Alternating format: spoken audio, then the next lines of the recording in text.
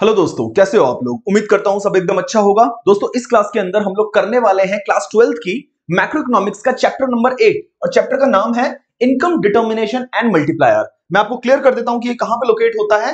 Unit number three जो है macro economics के अंदर, उसमें टोटल हमारे तीन चैप्टर होते हैं। पहला है aggregate demand and related concept ये मैं आपको करा चुका हूँ, इसकी वन शॉट रिवीजन हो चुकी है। नीचे डिस्क्रिप्शन में या फिर पहले कमेंट के अंदर आपको इसका लिंक मिल जाएगा। पहले ये वाली वीडियो देखना, उसके बाद ही इस वीडियो को देखो। अदरवाइज़ आपको समझ नहीं आएगा। अगर आपने पहले से एग्रीगेट डिमांड बहुत अच्छे से कर रखा है कहीं और से देन कोई ज़रूरत नहीं है, आप डायरेक्टली इनकम डिटर्मिनेशन कर सकते हो। दूसरा चैप्टर हमारा है इनकम डिटर्मिनेशन एंड मल्टीप्लायर जो अभी हम करने वाले हैं। और इसके बाद जो मैं वीडियो बनाऊँगा वन शॉट वो बनाऊँगा एक्सेस एंड डेफिशिएंट डिमांड की। तो ये तीनों जब चैप्टर हम कर लेंगे तो यूनिट थ्री कंप्लीट हो जाएगी, जिसका मतलब हमारे पेपर में 12 नंबर एकदम श्योर शॉर्ट कंफर्म हो जाएँगे। ये वीडियो भी एक वन शॉट वीडियो होने वाली है, इसमें पूरा इनकम डिटर्मिनेशन एंड मल्टीप्लायर मैं आपको करा दूँगा। एंड प्लीज़ आप इस चीज़ को समझ लो, ये वन शॉट के नाम पे सिर्फ़ जल्दी जल्दी मैं बोल के खत्म नहीं करूँगा। बकायदा अगर कोई बच्चा पहली बार इस चैप्टर को कर रहा है, उसको समझ आएगा that is my promise provided कि आपने पहले aggregate demand and related concept मुझसे ही पढ़ा है, मेरी वीडियो से पढ़ा है। ठीक है ना? आइए। क्या है इनकम डिटर्मिनेशन एंड मल्टीप्लायर आइए समझते हैं पहले। ये जो थ्योरी है पूरी की पूरी एग्रीगेट डिमांड एम्प्लॉयमेंट इन चीज़ों से रिलेटेड जितनी थ्योरी है यूनिट नंबर थ्री की, इस पूरी थ्योरी को देने वाले जो इकोनॉमिस्ट है बेटा, उनका नाम क्या है? John Maynard Keynes John Maynard Keynes economist का नाम है, जिन्होंने पूरी की पूरी थ्योरी दी है। इस वजह से, इस पूरी की पूरी थ्योरी को हम लोग क्या बोलते हैं? किनेजियन किनेजियन थ्योरी कि कीन के द्वारा बनाई गई थ्योरी किनेजियन थ्योरी अब एक बात बताओ, मैं आपको एक चीज़ क्लियर करता हूँ। इस चैप्टर में हमारा मकसद रहेगा इक्विलिब्रियम समझना। इक्विलिब्रियम समझना रहेगा। इक्विलिब्रियम क्या चीज़ होती है? पहले वो समझते हैं। इक्विलिब्रियम यानी एक स्टेट ऑफ़ बीइंग इक्वल किन दो चीज़ों के इक्वल रहने की हम लोग बात कर रहे हैं? तो देखो an economy is in equilibrium कब? व्हेन एग्रीगेट डिमांड जब एग्रीगेट डिमांड किसी भी गुड्स एंड सर्विसेज़ का इक्वल होगा। किस चीज़ के इक्वल होगा बेटा? एग्रीगेट सप्लाई के। किसी भी पीरियड ऑफ़ टाइम में। तो उस सिचुएशन को हम लोग कहेंगे इक्विलिब्रियम एंड ट्रस्ट में इस पूरे चैप्टर में हम लोग इनकम डिटर्मिनेशन वाला जो पोर्शन है, सिर्फ़ इक्विलिब्रियम पढ़ने वाले हैं, ठीक है ना? तो देखो, क्या बताया इन्होंने कि एग्रीगेट डिमांड जो है, जब एग्रीगेट सप्लाई के इक्वल हो जाएगा, जिस पॉइंट ऑफ़ टाइम पे, उस सिचुएशन को हम लोग कहेंगे इक्विलिब्रियम सिचुएशन ठीक है जी? अब एग्रीगेट डिमांड एग्रीगेट सप्लाई क्या चीज़ें होती हैं? आपने चैप्टर नंबर सेवन में पढ़ा होगा कि aggregate demand is equal to C plus I consumption plus investment होता है। और एग्रीगेट सप्लाई जो होता है, वो सी प्लस एच यानी कि कंजम्पशन प्लस सेविंग्स होता है। अब एक बात बताओ, अगर मैं यहाँ सी को सी से काट दू तो क्या निकल के आ जाएगा? S is equal to I निकल के आ जाएगा, यानी कि savings is equal to investment ये एक और अप्रोच है इस थ्योरी को पढ़ने की। तो हम लोग इस चैप्टर में दो अप्रोचेस पढ़ेंगे टोटल पहली अप्रोच क्या है बेटा? Approach one approach one is AD is equal to S और जो अप्रोच टू है, वो है S is equal to I approach two जो है, वो saving is equal to investment है. तो आइए जरा, आगे चलते हैं। Two approaches to determine equilibrium level of income equilibrium level of income output and employment ये तीन शब्द मैं चाहता हूँ, अभी के अभी प्लीज़ रट लो। इनकम आउटपुट एंड एम्प्लॉयमेंट बेटा इक्विलिब्रियम लेवल ऑफ़ इनकम यानी कि किस लेवल ऑफ़ इनकम पर? हमारी जो इकोनॉमी है वो इक्विलिब्रियम में है। यानी कि इक्विलिब्रियम का मतलब हुआ कि एग्रीगेट डिमांड और एग्रीगेट सप्लाई बराबर है कितने इनकम के अंदर? दूसरा आउटपुट कितना आउटपुट बना दे इकोनॉमी के अंदर बेटा कि एग्रीगेट डिमांड और एग्रीगेट सप्लाई दोनों बराबर हो जाए। एग्रीगेट सप्लाई और आउटपुट सेम टू सेम चीज़ें होती हैं। तीसरी चीज़ है एम्प्लॉयमेंट यहाँ पे मैं एम्प्लॉयमेंट बात कर रहा हूँ एम्प्लॉयमेंट ऑफ़ रिसोर्सेज जैसे आप लेबर की बात कर सकते हो। तो कितना एम्प्लॉयमेंट करें, कितनी लेबर लगे ताकि हमारा एग्रीगेट डिमांड और एग्रीगेट सप्लाई बराबर आ जाए। इसलिए income output and employment please रख लो। इनकम आउटपुट एंड एम्प्लॉयमेंट बात खत्म। याद रखना आई ओ ई देखो वॉवल से शुरू हो रहे हैं, तीनों वॉवल से शुरू हो रहे हैं। इनकम आउटपुट और एम्प्लॉयमेंट तो दो अप्रोचेस क्या है? एडीएएस अप्रोच यानी कि aggregate demand aggregate supply approach और दूसरी क्या है? सेविंग इन्वेस्टमेंट अप्रोच जिसको एसआई अप्रोच भी बोलेंगे। ठीक है ना? आइए, सबसे पहले हम लोग एडीएएस अप्रोच की बात करेंगे। बट उससे पहले हमें इस थ्योरी की कुछ एजम्पन पढ़नी पड़ेंगी। मैंने आपको हमेशा बोला है कि जब भी कोई थ्योरी पढ़ते हैं तो उसके लिए हमको कुछ उसके एजम्पन को ध्यान में रखना होगा। अगर आपने क्लास इलेवेंथ में माइक्रो इकोनॉमिक्स करी थी तो पीपीसी कर्व जब आपने पढ़ा होगा, उससे पहले आपने कुछ एजम्पन का ध्यान रखा होगा कि कुछ एजम्पन हैं, उसके बाद ही वो चीज़ पॉसिबल होती है। लॉ ऑफ़ डिमांड जब आपने पढ़ा होगा, उसमें भी कुछ ना कुछ एजम्पन थी। वैसे ही यहाँ पे जब हम किनेजियन थ्योरी को पढ़ रहे हैं तो इसके लिए भी कुछ चीज़ों को ज्यूम करना पड़ेगा। And yes that can be asked in your exam आपको पता होना चाहिए, ठीक है ना? तो सबसे पहला क्या है कि जो डिटर्म हम डिटरमाइन कर रहे हैं इक्विलिब्रियम आउटपुट कि कितना आउटपुट प्रोड्यूस करें कि एग्रीगेट डिमांड और एग्रीगेट सप्लाई बराबर आ जाए। Is to be studied in the context of two sector model देखो टू सेक्टर मॉडल हमने चैप्टर सेवन भी पूरा टू सेक्टर में पढ़ा है। यानी कि टू सेक्टर मतलब एग्रीगेट डिमांड का क्या होता है? C plus I plus G plus X minus M यानी कि consumption plus investment plus government expenditure plus net export होता है। बट हम इन दो चीज़ों को इग्नोर करते हैं। हम सिर्फ़ टू सेक्टर मॉडल में चल रहे हैं, यानी कि कंजम्पशन और इन्वेस्टमेंट इसके अलावा कोई और चीज़ नहीं है। तो हमें यहाँ पे ये जो थ्योरी पढ़ रहे हैं, ये भी हम सिर्फ़ टू सेक्टर मॉडल के अंदर कर रहे हैं। जो इंपॉर्टेंट पॉइंट है, वो मैंने ये अंडरलाइन कर रखा है। दूसरा हम अज्यूम करेंगे कि जो इन्वेस्टमेंट एक्सपेंडिचर है वो ऑटोनोमस है, बिल्कुल। सेम टू सेम रहेगा at every level of output chapter number seven में भी आपको यही चीज़ मैंने आपको करवाई थी कि हमने ट्वेंटी लिया था और ट्वेंटी ट्वेंटी ट्वेंटी हर बार सेम टू सेम रखा था। ऑटोनोमस मतलब which is not change with the level of output level of income level of employment ना, वो सेम टू सेम रहेगा। तीसरा क्या है कि जो प्राइस है इकोनॉमी के अंदर, वो कांस्टेंट रहेगा। प्राइस चेंज नहीं हो सकता, सिर्फ़ कांस्टेंट रहेगा एज इट इज़ रहेगा। पूरी थ्योरी जब हम पढ़ेंगे उसके दौरान। और चौथा पॉइंट क्या है कि ये सिर्फ़ शॉर्ट रन में हो सकता है। शॉर्ट रन के अंदर हो सकता है लॉन्ग रन के अंदर हम लोग इक्विलिब्रियम आउटपुट निकाल ही नहीं सकते हैं। इक्विलिब्रियम आउटपुट लॉन्ग रन में हम नहीं कर सकते हैं। अगर कोई बच्चा कंफ्यूज है तो मैं क्लियर कर दूँ, आप ऐसा समझ लो कि output is equal to aggregate supply होता है, ठीक है ना? कितनी सप्लाई करे गुड्स एंड सर्विसेज़ की, वो हमारा आउटपुट हो जाएगा। आइए। अब पहले हम थ्योरी की बात करते हैं aggregate demand aggregate supply approach या AD AS approach according to Keynesian theory वही बात लिखी है equilibrium level of income in an economy is determined when aggregate demand जो कि रिप्रेजेंटेड बाय है C plus I curve is equal is equal to aggregate supply अगर मैं बोलूँ एग्रीगेट डिमांड बोलूँ, या मैं बोलूँ सी प्लस आई दोनों एक बात है या नहीं है? तो कई बार हम एग्रीगेट डिमांड ना लिख के हम लोग ग्राफ में लिख देते हैं सी प्लस आई कर्व जो कि आई डोंट थिंक आपको ऑफेंड होना चाहिए, क्योंकि दोनों सेम टू सेम बात है। एडी लिखूं लेफ़्ट हैंड साइड लिख दूँ, या राइट हैंड साइड में लिखा हुआ सी प्लस आई लिख दू, दोनों एक ही बात तो है। इस बात से हमको कोई तकलीफ़ नहीं होनी चाहिए। अब हम लोग क्या करेंगे, हमें समझना है कि इस चीज़ को पहले टेबल में कैसे प्रेजेंट करेंगे, और दूसरा टेबलर प्रेजेंटेशन कैसे करेंगे, और दूसरा ग्राफ में किस तरीके से दिखाएँगे।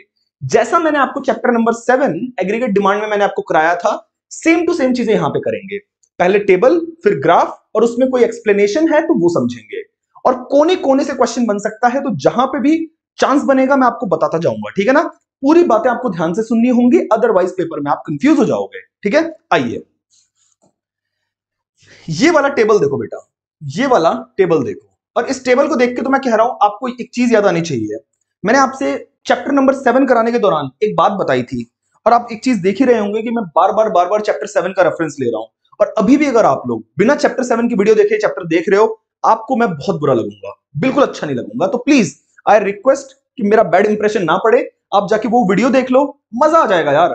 दिल से खुशी होगी तुमको। सच बता रहा हूँ। बारह में से बारह नंबर आएँगे, ग्यारह नंबर भी नहीं आएँगे अगर तुमने तीनों चैप्टर्स फॉलो कर लिए मेरे वाले, ठीक है ना? अब ध्यान से सुनो। मैंने वहाँ पे आपको एक चीज़ बताई थी कि जो हमारी इनकम होती है, देखो इनकम इनकम को वाई से डिनोट करते हैं। इनकम हमारी ज़ीरो से स्टार्ट होती है और हंड्रेड हंड्रेड का गैप होता है। मैंने आपसे कहा था कि भाई अगले चैप्टर में भी सेम टू सेम चीज़ फॉलो होगी और देखो फॉलो हो रही है। उसके बाद कंजम्पशन जो है हमारी, वो ज़ीरो से ना शुरू होगी बेटा, फोर्टी से शुरू होगी और एट्टी एट्टी का गैप होगा। एट्टी एट्टी का गैप होगा। फोर्टी से वन ट्वेंटी वन ट्वेंटी से टू हंड्रेड टू हंड्रेड से टू एट्टी फिर वाई हो गया, सी हो गया। फिर इन्वेस्टमेंट एक बार देखो। इन्वेस्टमेंट इन्वेस्टमेंट हमने वहाँ पे ट्वेंटी ट्वेंटी ट्वेंटी ट्वेंटी लिया था। हर बार सेम रखा था। इस बार मैंने बुक का सीधे सीधे उठाया संदीप गर्ग का। आप चाहो तो ट्वेंटी ले सकते हो, कोई बुराई नहीं है। बुक में फोर्टी लिखा था तो मैंने फोर्टी एज्यूम कर लिया। जब सेम ही रखना है, क्या फ़र्क पड़ता है यार कि ट्वेंटी है या फोर्टी है? ठीक है ना? तो you can take twenty no problem मैं यहाँ पे फोर्टी लेके चल रहा हूँ। तो देखो फोर्टी है और ये हर दम सेम रहेगा। क्यों? क्योंकि ये ऑटोनोमस है। फ़र्क नहीं पड़ता इनकम कम है, ज़्यादा है इट विल रिमेन सेम बिल्कुल। मतलब समझ लो कि अर्जुन कपूर की एक्टिंग की तरह है कि मूवी कोई सी भी हो, अच्छी हो, बुरी हो, पानीपत हो टू स्टेट्स हो मतलब कोई सी भी पिक्चर हो, उसकी एक्टिंग बिल्कुल फेस जो होता है एक्सप्रेशन एकदम सेम होते हैं प्लेन फेस होता है। बिल्कुल ऑटोनोमस जो इन्वेस्टमेंट है वो भी सेम टू सेम है, ठीक है ना? अब आइए, एक नया कॉलम यहाँ पे बन रहा है बेटा, और उस कॉलम को हम लोग क्या कहेंगे? हम कहेंगे employment employment employment of what यहाँ पे हम लोग एम्प्लॉयमेंट ऑफ़ रिसोर्सेज की बात कर रहे हैं। यहाँ पर रिसोर्सेज जो लेबर होती है जो आपने पढ़ा होगा पिछले चैप्टर में सेवेंथ में, कि फुल एम्प्लॉयमेंट है ना? Involuntary unemployment involuntary unemployment voluntary unemployment ये जो सारी चीज़ें थी, हम यहाँ पे ज्यूम कर रहे हैं कि कितने लेबर एम्प्लॉय किए गए हैं। तो ज़ीरो अगर एम्प्लॉय किए गए हैं, फिर टेन अगर एम्प्लॉय किए गए हैं twenty thirty forty fifty sixty यानी कि ज़ीरो से शुरू होगा बट सिर्फ़ टेन टेन टेन टेन का गैप दिखाना है आपको। दैट्स इट ये एक न्यू टेबल है, बाकी सारी टेबल्स हमने पहले कर रखी है। अब आइए जरा, अगली चीज़ क्या थी? Y is equal to C plus S होता है। ये तो आपको पता होगा, y is equal to C plus S और ये एस के इक्वल भी होता है। अगर एक बात बताओ, y is equal to C plus S है तो s is equal to Y minus C होगा, बिल्कुल होगा। तो देखो, y minus C is equal to S तो zero minus forty minus forty हो जाएगा। Hundred minus one twenty minus twenty हो जाएगा। Two hundred minus two hundred zero हो जाएगा। Three hundred minus two eighty twenty forty sixty eighty and so on एक बार ध्यान से देखो, जब ये नेगेटिव होता है, जब सेविंग्स नेगेटिव होती है तो इस सिनेरियो को हम लोग क्या कहते हैं बेटा? याद करो सर इसको हम डिस सेविंग कहते हैं। और यहाँ पर ये ज़ीरो हो गई है सेविंग जब ज़ीरो हो जाती है सेविंग तो वो ब्रेक इवन पॉइंट होता है, जहाँ पे आपका जो इनकम है और कंजम्पशन है, वो सेम है और सेविंग्स आपकी ज़ीरो है। उस पॉइंट को ब्रेक इवन पॉइंट कहते हैं। साथ के साथ पिछला चैप्टर भी काफ़ी हद तक रिवाइज होता जा रहा है, ठीक है ना? अब जरा मेरी बात सुनो। अब इससे मतलब नहीं है, अब हमें एडी और एएस से मतलब है। क्योंकि हम लोग इक्विलिब्रियम लेवल पता करने की कोशिश कर रहे हैं। और इक्विलिब्रियम लेवल ऑफ़ इनकम कब होगी? एडीएस अप्रोच के अकॉर्डिंग जब एग्रीगेट डिमांड एग्रीगेट सप्लाई के इक्वल होगा तो हम कहेंगे, भैया, मुबारक हो इक्विलिब्रियम लेवल ऑफ़ इनकम है। इक्विलिब्रियम लेवल ऑफ़ एम्प्लॉयमेंट है। इक्विलिब्रियम लेवल ऑफ़ आउटपुट है। तो आइए एडी कैसे निकलता है बेटा? सी प्लस आई एडी होता है और C plus S A S होता है। फॉर्मूला तो बच्चों बच्चों को पता है। तो हमने क्या करा? सी को और आई को प्लस कर दो। तो my forty plus eighty forty plus eighty Iksan इक्सन क्या कर रहा हूँ मैं? थोड़ा सफ़ाई कर दू क्या? ऐसे कंफ्यूज हो रहा हूँ मैं। C plus I forty plus forty कितना हो गया? Eighty one twenty plus forty one sixty ऐसे सबको प्लस कर दो, ठीक है? S is equal to C plus S होता है। तो देखो सी प्लस एस यानी कि forty minus forty zero one twenty minus twenty hundred two hundred plus zero, two hundred and so on अब आपको एक चीज़ देखनी है बेटा, एक सिंपल सी चीज़ है, इसको ऑब्ज़र्व करो, इसको ऑब्ज़र्व करो। यहाँ से लेके यहाँ तक आपका एग्रीगेट डिमांड बड़ा है एग्रीगेट सप्लाई छोटी है। एग्रीगेट डिमांड बड़ा है एग्रीगेट सप्लाई छोटी है। सिर्फ़ इस पॉइंट पे जो एग्रीगेट डिमांड और एग्रीगेट सप्लाई है, वो इक्वल है। तो हम इसी पॉइंट को कहेंगे कि भैया, ये तो हमारा इक्विलिब्रियम पॉइंट है, क्योंकि यहाँ पे AD is equal to S है। और इक्विलिब्रियम कब है? जब 400 इज़ इक्वल टू 400 है। और इसकी अगर मैं सिधाई में सिधाई में सिधाई में आऊँ तो इनकम कितनी है? ये 400 है और एम्प्लॉयमेंट कितना है? 40 यानी कि देखो 400 ये चीज़ क्या हो जाएगी? ये equilibrium level of income equilibrium level of income इसे कहेंगे कि वो इनकम जो इक्विलिब्रियम लेवल अचीव करने में मदद कर रही है, वो इक्लिब्रियम लेवल ऑफ़ इनकम हो जाएगा। और ये क्या हो जाएगा? Equilibrium level of employment equilibrium level of employment क्या बात समझ आ रही है? यस सर समझ आ रही है। और उसके बाद आगे सिलसिला चलेगा तो एग्रीगेट सप्लाई बड़ी हो रही है और एग्रीगेट डिमांड छोटी होती जा रही है तो वो भी इक्विलिब्रियम लेवल नहीं है। उम्मीद करता हूँ कि आपको ये टेबल पूरी की पूरी समझ आ गई होगी। इससे ज़्यादा टाइम लगाना मूर्खता होगी इस पर्टिकुलर चीज़ के ऊपर। अब आइए जरा। टेबल हो गई। अब बेटा हम लोग क्या करने वाले हैं? अब हम लोग ग्राफ पढ़ने वाले हैं। अब इसके ऊपर ग्राफ किस तरीके से बनेगा? आइए जरा देखते हैं। तो सबसे पहले एक एक्स और एक वाई एक्सिस बन जाएगी। एज इट इज़ जैसा हम लोग जानते हैं, ये एक्स एक्सिस है, ये हमारी वाई एक्सिस है। अब जरा ध्यान से सुनो। एक्स एक्सिस पे क्या लेना है? सर, आपने हमेशा बोला था कि इनकम लेंगे। बेटा, अभी भी मैं अपनी बात से नहीं पलट रहा। इनकम को हम एक्स एक्सिस पे लेंगे। बिल्कुल सही।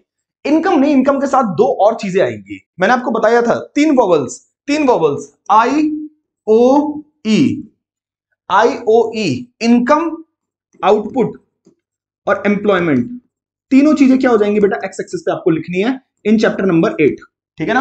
और एक कंसिस्टेंट रहेगा थ्रू आउट रहेगा डोंट वरी और उसके बाद, यहाँ पर, अब यहाँ पर हम लोगों को जो लिखना है, वो आप क्या लिखोगे? एग्रीगेट डिमांड लिखोगे। एग्रीगेट डिमांड आइए जरा। एग्रीगेट डिमांड हम लोग वाई एक्सिस पे लिखेंगे। अब जरा ध्यान से देखना, जो आपका यहाँ से चालू हो रहा है ज़ीरो से चालू होगा इनकम इनकम बोलू एग्रीगेट सप्लाई बोलू आउटपुट बोलू वो आपका क्या होता है? एक 45 डिग्री का एंगल बनाता हुआ एक लाइन आ जाती है। बिल्कुल। सही बात है। एग्रीगेट डिमांड जो होती है आपकी वो यहाँ से चालू होती है क्योंकि ज़ीरो लेवल ऑफ़ इनकम पे भी ज़ीरो लेवल ऑफ़ इनकम पे भी बेटा एग्रीगेट डिमांड एक पॉजिटिव नंबर होता है।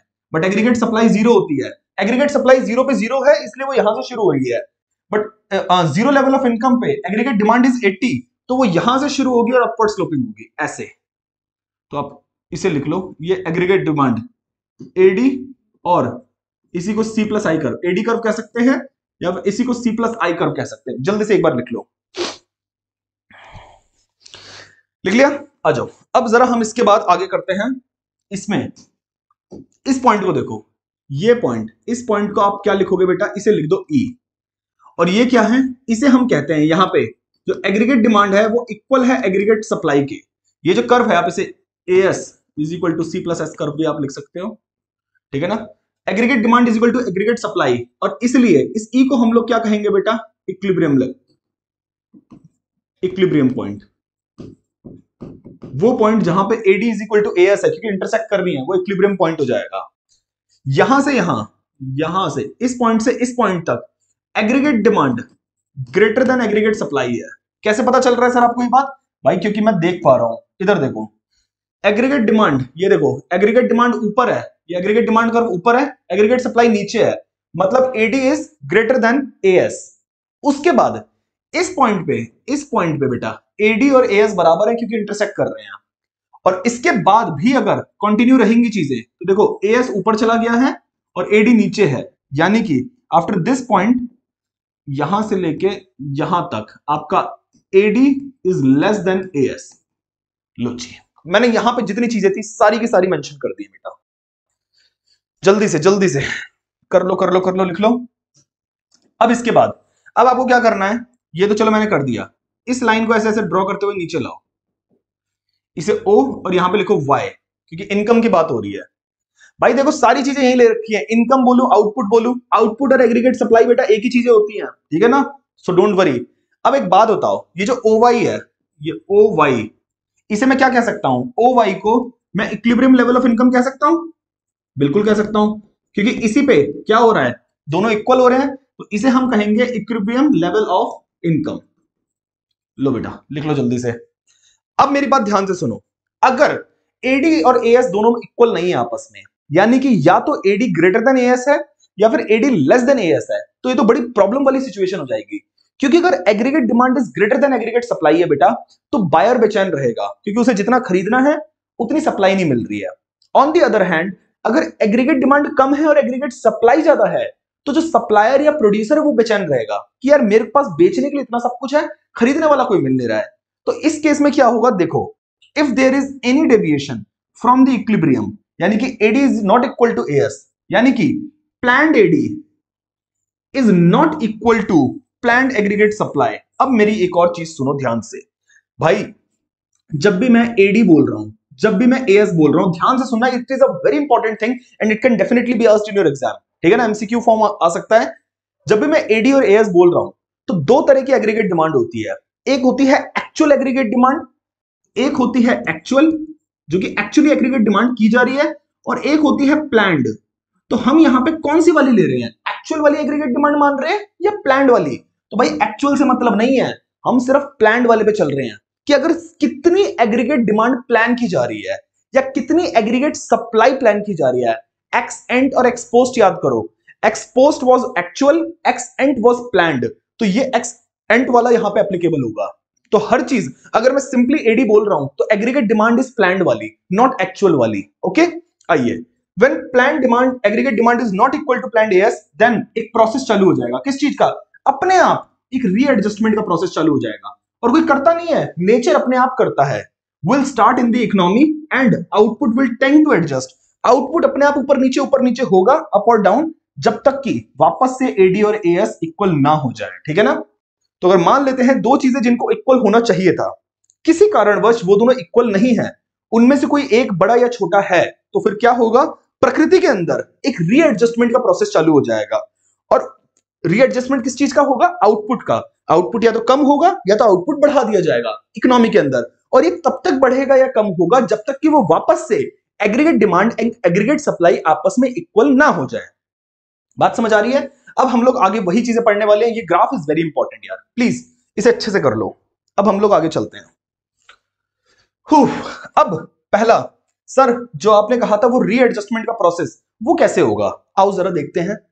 यहाँ पे पहला केस क्या होगा? AD not equal to AS है। तो हम मान लेते हैं कि पहले हम समझेंगे कि एडी अगर ग्रेटर देन एएस है तो फिर कैसे रीएडजस्टमेंट होगा? क्या ये पेपर के लिए इंपॉर्टेंट है? देखो स्टार की पावर फाइव मैं मैथ्स का भी अच्छा स्टूडेंट था तो फाइव स्टार अगर लिखना है तो पाँच स्टार बनाने से अच्छा है कि स्टार की पावर फाइव कर देता हूँ, ठीक है ना? मतलब पाँच बार स्टार फाइव स्टार इंपॉर्टेंट है, ये भी और इससे अगला टॉपिक भी। एडी ग्रेटर देन एएस या एडी लेस देन एएस अब ध्यान से सुनो क्या होगा। अगर आपकी प्लान स्पेंडिंग स्पेंडिंग बोलूँ तो डिमांड एक ही बात है।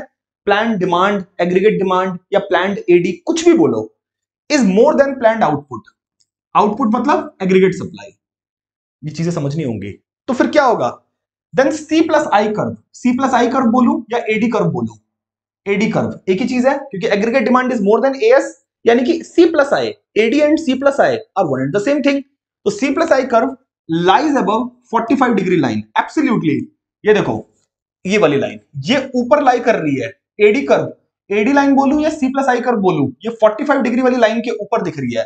तभी AD is greater than AS भाई, ये मैंने इजी लैंग्वेज में मैं यहाँ पे लिख सकता था. बट अगर पेपर में डिफ़िकल्ट लैंग्वेज में आ गया होता, तुम्हारी तो हालत खराब हो जाती. इसलिए मैंने यहाँ पे इसको थोड़ा सा लेमन ना करके मैंने इसे कॉम्प्लिकेट करा है, जो बुक के अंदर दे रखा है एज इट इज़ लिखा है. वरना मेरे पास बड़ा अच्छा ऑप्शन था, मैं इसे आसान लैंग्वेज में कर सकता था। बट उस आसान लैंग्वेज का फ़ायदा क्या कि यहाँ तो हो जाएगा पेपर में ना हो वाली चीज़, ठीक है ना? अब देखो, इसका मतलब क्या है कि एडी मोर देन एस कि कंज्यूमर और फर्म्स मिलकर ज़्यादा बाय करना चाह रहे हैं, किस चीज़ से? जितना फर्म्स प्रोड्यूस करना चाहती हैं उससे।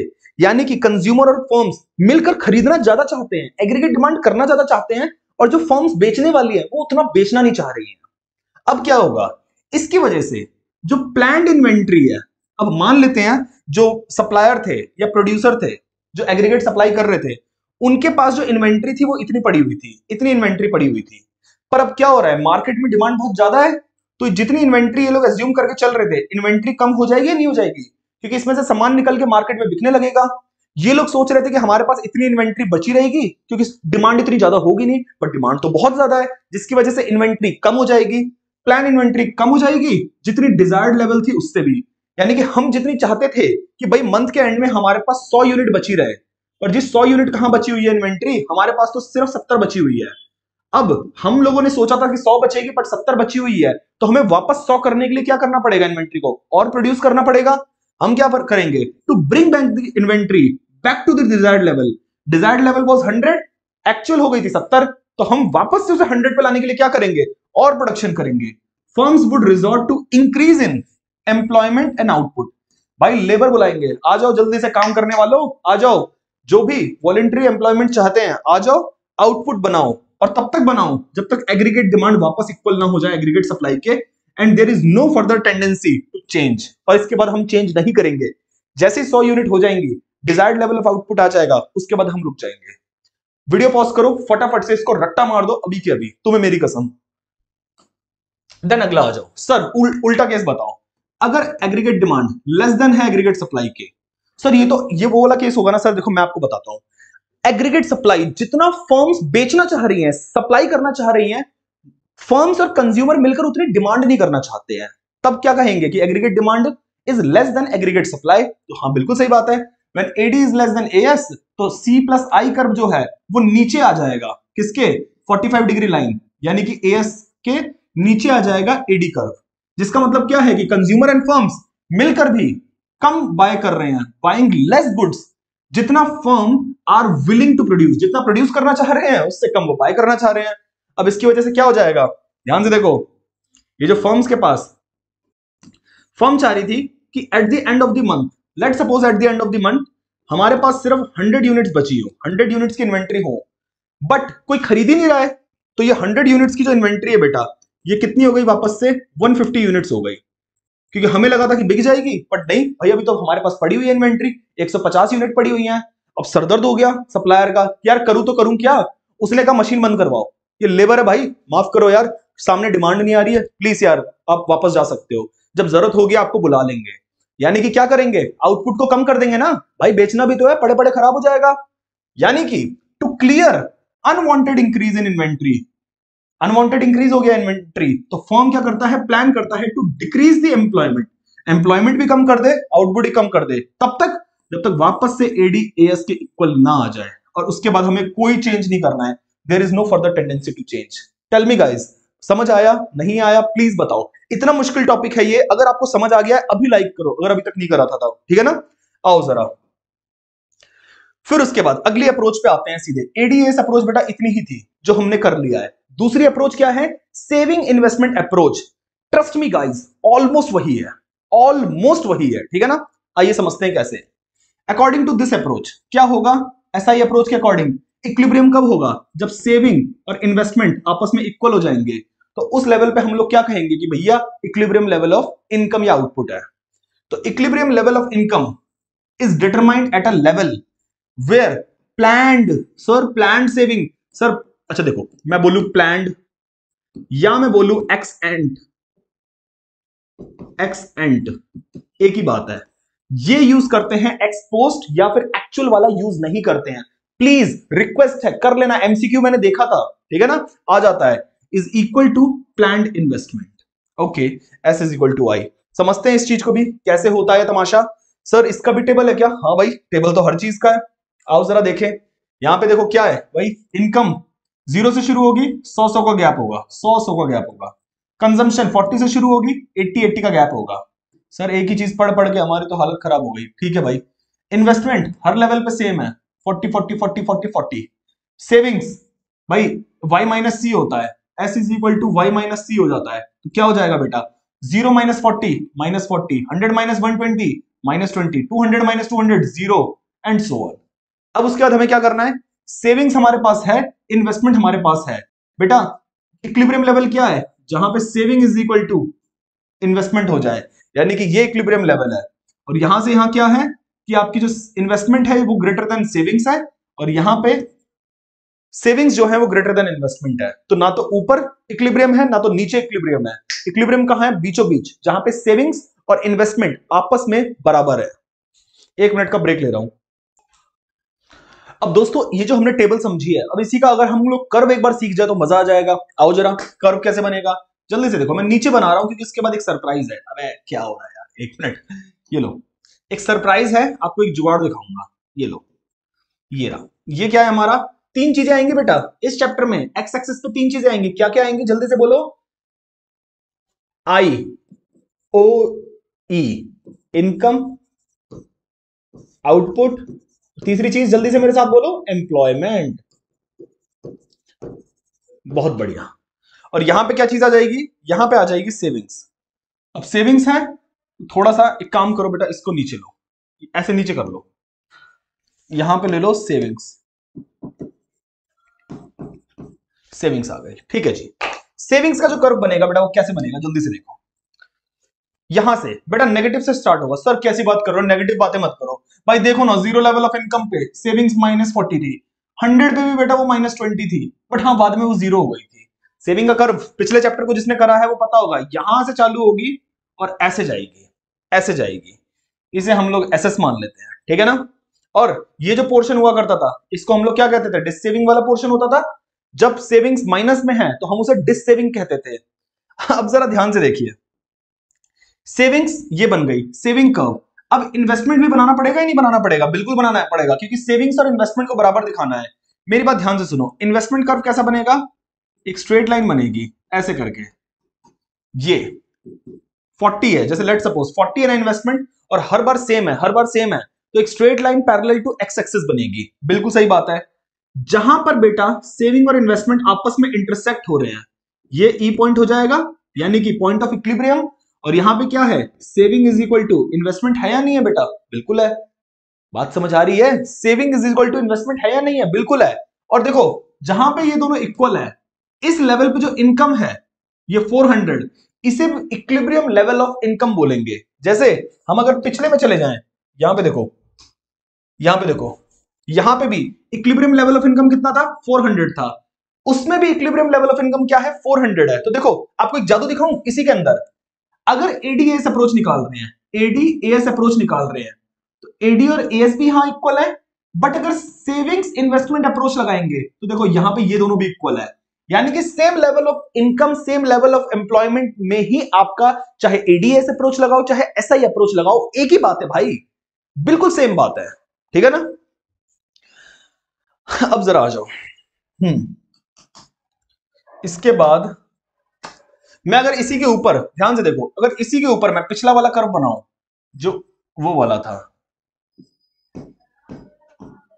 एक चीज़ दिखाना चाहता हूँ यार। हम्म हम्म। ये आपकी 45 डिग्री लाइन है, ये आपका ए एस या फिर सी प्लस एस कर्व हो जाएगा, और ये आपका, अरे नहीं और ये वाला ये वाला आपका ए एस कर्व हो जाएगा, ये एडी और सी प्लस आई कर्व हो जाएगा। ये क्या हो जाएगा, जहाँ ये दोनों इक्वल है this is point of equilibrium एक बार जरा देखना, इसका इक्विलिब्रियम और इसका इक्विलिब्रियम बिल्कुल सेम लेवल ऑफ़ इनकम पे है या नहीं है? सेम लेवल ऑफ़ इनकम पे है, बिल्कुल। जहाँ पे एस आई इक्वल है, यहाँ पे एडी और एस इक्वल है। ठीक है ना? आओ जरा। इतना ही समझना था इसके अंदर। अब, जैसे हमने, बेटा पिछले में करा था कि अगर saving is equal to investment है तो बहुत अच्छी बात है, सब कुछ इक्विलिब्रियम पे है। But sir what if what if saving is not equal to I यानी कि या तो savings is greater than I या फिर savings is less than I तो मैं आपको एक चीज़ क्लियर कर देता हूँ। जैसे एडी वाला आपने पढ़ा था ना, वो एडीएस का, कि प्लान इन्वेंट्री कम हो जाएगी प्लान इन्वेंट्री बढ़ जाएगी सेम टू सेम है। नहीं, यकीन होता? आओ देख लो। अगर सेविंग आपकी मोर देन इन्वेस्टमेंट है तो भाई, क्या होगा? एक इकोनॉमी अपने आप एक रीएडजस्टमेंट का प्रोसेस चालू कर देगी। रीएडजस्टमेंट होगा और तब तक होता रहेगा कि जब वापस से ये दोनों जाके इक्वल ना हो जाए, तब तक। तो देखो if plan saving plan saving is more than what plan investment ठीक है? इसका मतलब क्या है?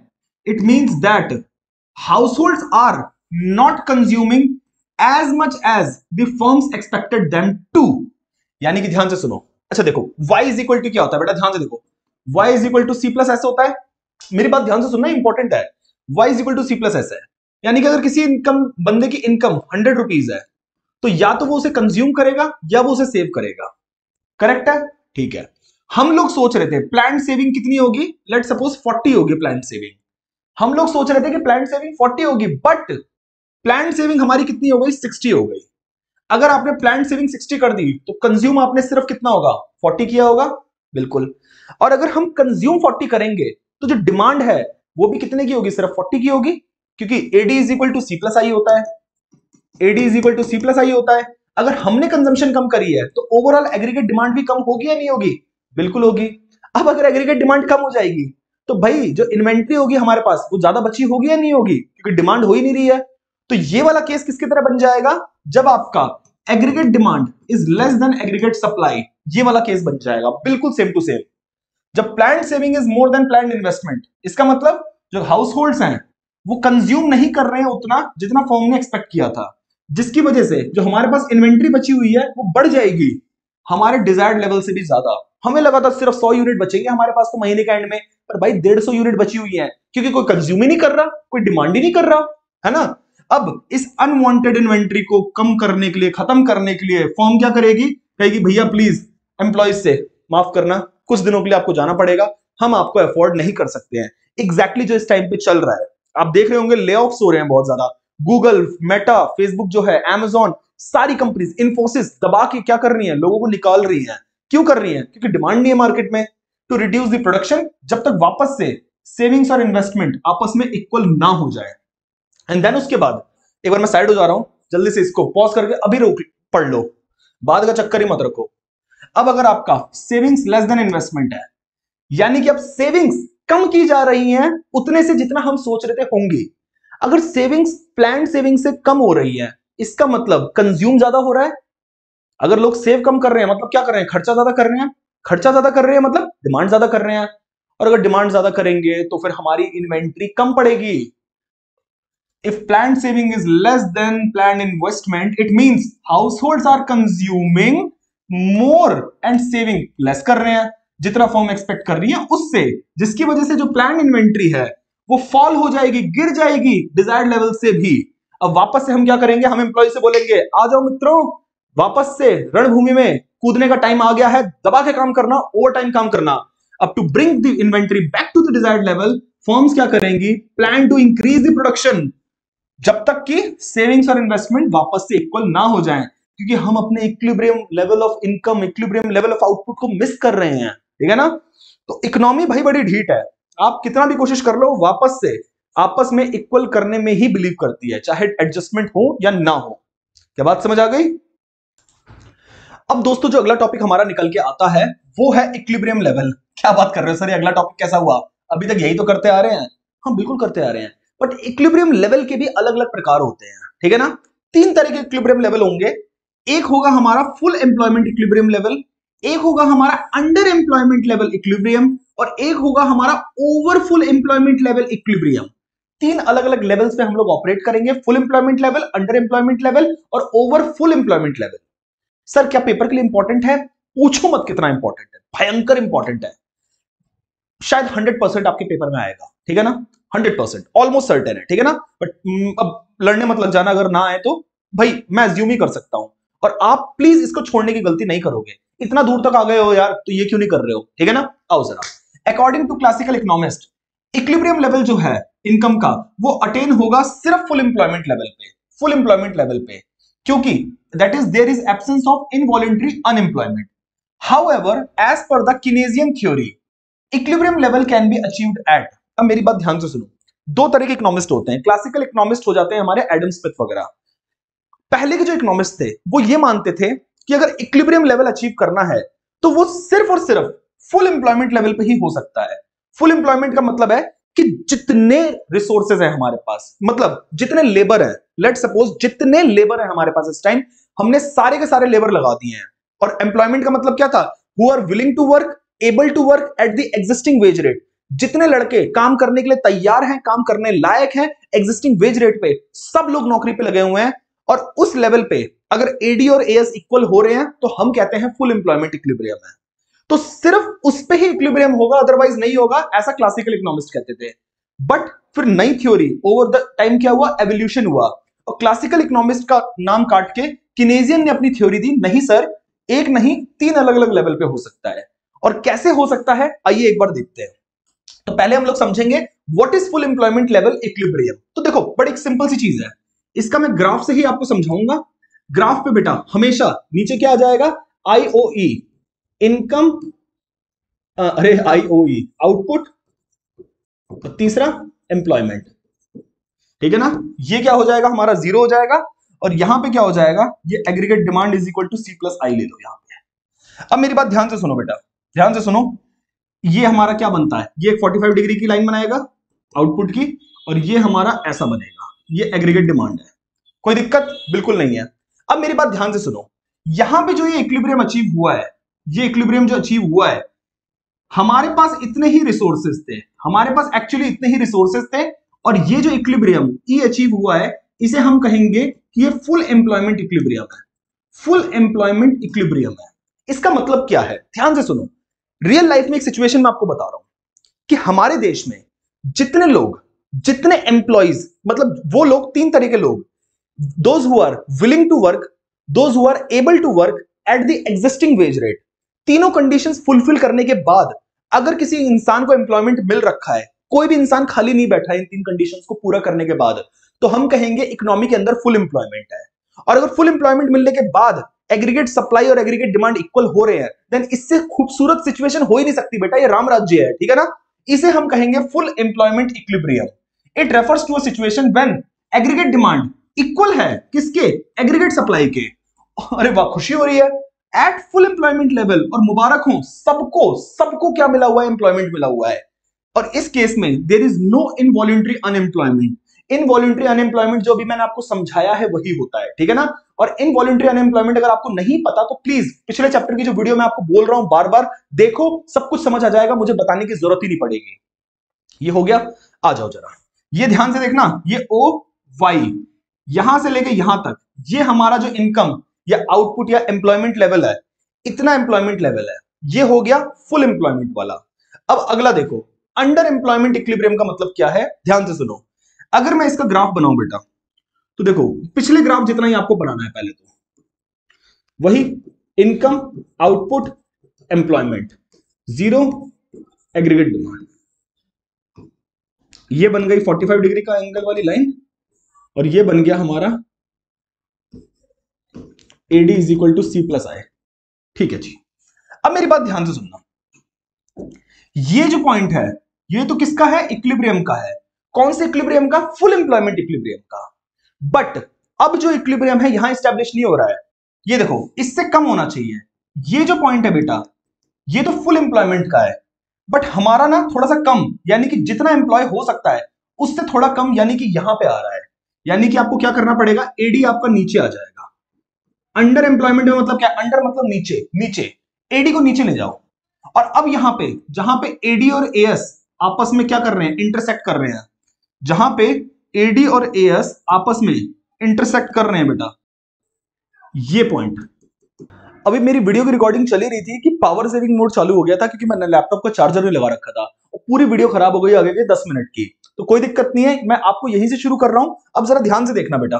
क्या था कि फुल एम्प्लॉयमेंट इक्विलिब्रियम हमारा इस पॉइंट ई पे बन रहा था और अंडर फुल एम्प्लॉयमेंट देख रहे हो? पूरा पूरा एम्प्लॉयमेंट करना है तो यहाँ से यहाँ तक का होगा। अंडर फुल एम्प्लॉयमेंट देखो यहाँ तक। सिर्फ़ इतने रिसोर्सेज एम्प्लॉय करके भी अगर एग्रीगेट डिमांड और एग्रीगेट सप्लाई बराबर हो रहे हैं तो हम इसको क्या कहेंगे कि ये अंडर फुल एम्प्लॉयमेंट इक्विलिब्रियम है। और इसके अंदर हमारा जो है it prior to the full employment level होता है, यानी कि फुल एम्प्लॉयमेंट लेवल इधर है, इससे पहले ही एफ़ पॉइंट ई पॉइंट से पहले आ रहा है prior to full employment level ठीक है ना? और यहाँ पर आपका इनवॉल्यूंट्री अनएम्प्लॉयमेंट होने के चांसेस होते हैं। यहाँ पे इनवॉल्यूंट्री अनएम्प्लॉयमेंट हो सकता है। अब इसके बाद हम लास्ट पे चलते हैं that is over full employment equilibrium इसका मतलब क्या है? पहली बात, ये एक हाइपोथेटिकल सिचुएशन है। हाइपोथेटिकल हाइपोथेटिकल मतलब वास्तविक जीवन से इस बात का कोई लेना देना नहीं है। थ्योरी में पढ़ना अच्छा लगेगा बट रियलिटी में ये चीज़ पॉसिबल नहीं है। कैसे कह रहे हो सर आओ जरा देखो। बिल्कुल same to same income output employment और यहाँ पे एग्रीगेट डिमांड बनेगा। कर्व पहले तो इतना। लो।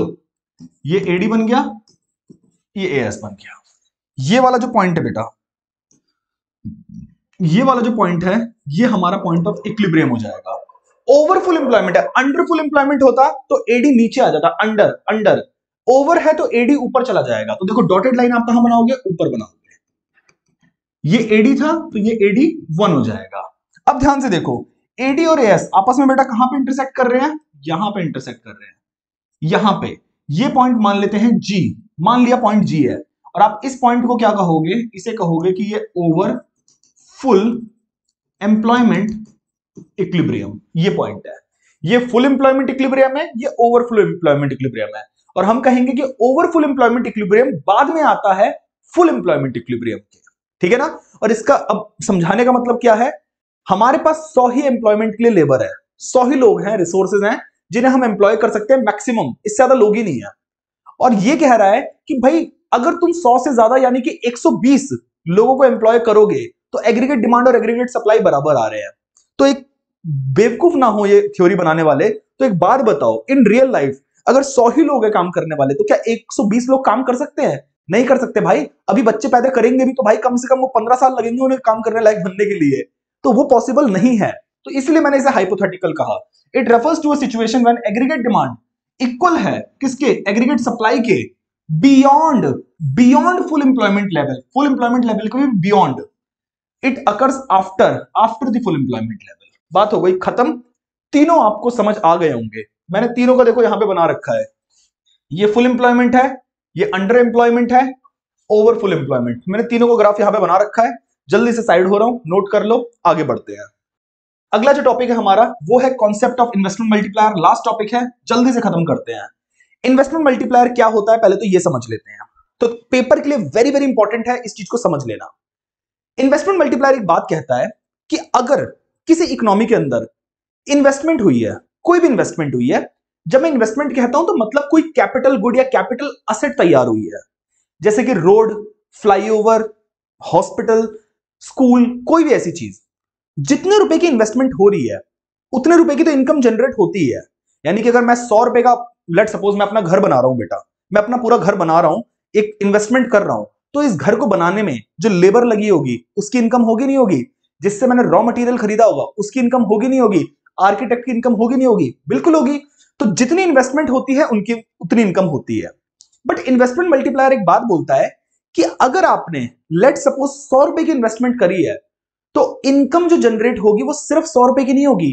सौ रुपए से कई गुना ज़्यादा इनकम जनरेट होगी।